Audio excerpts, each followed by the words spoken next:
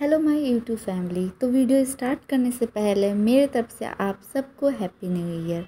तो फ्रेंड, ये गाजर का हलवा, आप देख रहे हो ना? जितना ये दिखने में यम्मी है, उतना ही ये खाने में डिलीशियस है। तो हम इस नए साल की शुरुआत करते हैं इस डिलीशियस गाजर के हलवे हेलो माय यूट्यूब फैमिली तो वीडियो स्टार्ट करने से पहले गाजर को कद्दूकस या ग्रेट किए हुए। तो ठंड आ गई है और ठंड में गाजर का हलवा ना खाया तो फिर क्या खाया?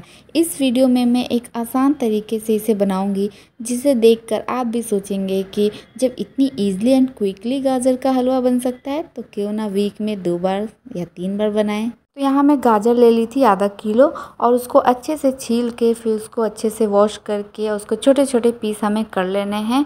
उसके बाद हम यहाँ कुकर में आज गाजर का हलवा बनाएँगे। जी हाँ कढ़ाई में नहीं कुकर में बनाने वाले हैं। तो कुकर गर्म हो गया है और अब मैं उसमें डाल दी थी घी एक स्पून। और जब घी थोड़ा गर्म हो जाए तो हम इसमें डालेंगे इलायची। इलायची का अगर पाउडर आपके पास है तो आप वो ऐड कर लो, अगर नहीं है तो कोई बात नहीं। इलायची को ऐसे छोटे पीसेस में तोड़ लो, हाथ हाथों से ही, और फिर इसको इसमें डाल दो। और इसकी स्मेल जो आएगी ना, बहुत ही अच्छी इसकी स्मेल आती है। और उसके बाद जो हम छोटे छोटे पीस किए हैं गाजर के, इनको हमें इसमें डाल देना है। ये गाजर बहुत ही फ्रेश एंड जूसी है। मैंने यहाँ रेड गाजर लिया है। ठंडियों में आसानी से रेड गाजर मिल जाते हैं। अगर आपके पास नहीं है तो आप ऑरेंज वाला भी यूज़ कर सकते हो। तो इसमें, उसके बाद हमें इसे अच्छे से चलाना है। तो ये जो टिप्स है, ये बहुत कमी लोग को पता होता है। कि अगर आप इसको गाजर को अच्छे से कुछ देर भुनोगे ना तो इसका जो टेस्ट है, वो भी बहुत बढ़ जाता है और इसकी जो सौंधी खुशबू आती है ना, वो मैं क्या बताऊँ। तो इसको चलो पाँच मिनट भूनते हैं।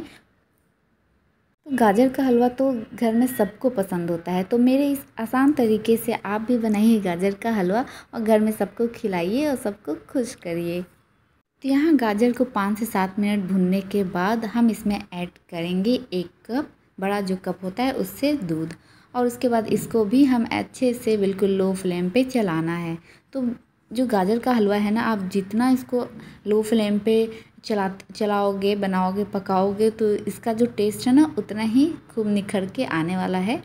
तो मिल्क डालने के बाद भी मैंने इसको अच्छे से भून लिया है, पका लिया है लो फ्लेम पे। अब इसमें हम लगाएँगे कुकर को बंद कर देंगे और इसमें हम लगाएँगे दो सीटी। तो चलो दो सीटी लग गई है यहाँ कुकर में। कुकर को ओपन करते हैं और ओपन करने के बाद कुछ ऐसा गाजर का हलवा हो जाएगा। और अब हमें क्या करना है? इसको मैश करना है। जिस भी चम्मच से आप स्पून से इसको चला रहे हो, उसके पीछे वाले हिस्से से आप इसको अच्छे से मैश करिए, क्योंकि ये ऑलरेडी बहुत ज़्यादा पक गया रहता है, इसलिए ये बहुत इजीली मैश हो जाएगा। तो बस आपको थोड़ा इसको प्रेस करना है गाजर को, और और धीरे धीरे बिल्कुल लो फ्लेम पे पकाना है, और ये बिल्कुल अच्छे से स्मूथ हो जाएगा एंड मैश हो जाएगा। यहाँ मैं एक ऐसी टिप्स आपको देना चाहती हूँ, बताऊँगी, जिससे आपका गाजर का जो हलवा है ना, उसका जो टेस्ट है ना आउटस्टैंडिंग होने वाला है, बिल्कुल हलवाई जैसा होने वाला है। तो आपके घर में अगर जो भी स्वीट्स है, जो भी जैसे काजू की बर्फ़ी है, कोई भी बर्फ़ी है तो आप उसको इसमें ऐड करें।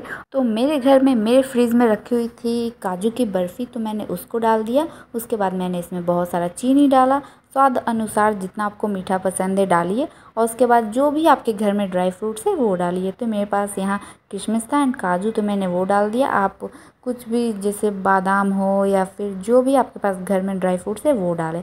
और उसके बाद इसको बिल्कुल अच्छे से मैश करते रहें, चलाते रहें बिल्कुल लो फ्लेम पे।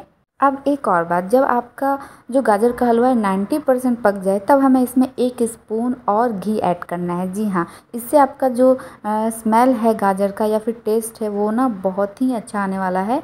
तो यहाँ नाइन्टी परसेंट पक गया है। सिर्फ़ हमें जो इसका जो दूध है मिल्क है, उसे रिड्यूस करना है।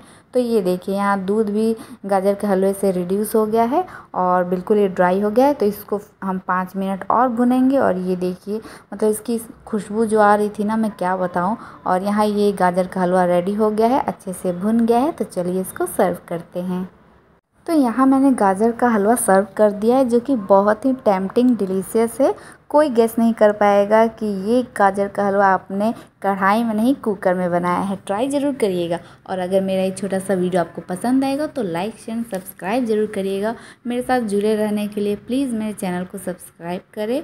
तो ऐसे झटपट एंड डिलीशियस टेम्पटिंग गाजर का हलवा बनाने के लिए मेरे इस तरीके को फॉलो करें। और अपने गेस्ट को या अपने फैमिली मेंबर को खिला के हैप्पी करें। तो मिलती हूँ अपने नेक्स्ट वीडियो में, तब तक के लिए बाय बाय टेक केयर